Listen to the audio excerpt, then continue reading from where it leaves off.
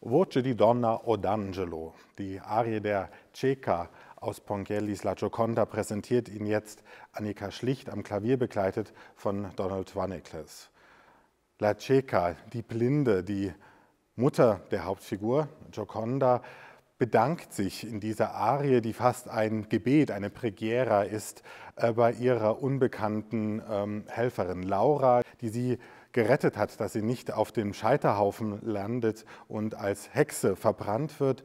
Und so gibt sie ihr am Ende diesen Rosenkranz, der für Laura das Symbol war, dass La Ceca die Blinde keine wirkliche Hexe ist. Ein etwas merkwürdiger Plot, aber man merkt hier, Ponchielli komponiert wirklich ein zu Herzen gehendes Gebet, ganz innig, ganz einfach begleitet. Ähm, ein wunderbares Zeichen für diesen späte italienische Oper auf dem Weg in den Verismo Ende des 19. Jahrhunderts. Die Arie der Ceca aus Ponchiellis La Gioconda mit Annika Schlicht und Donald Wanikos.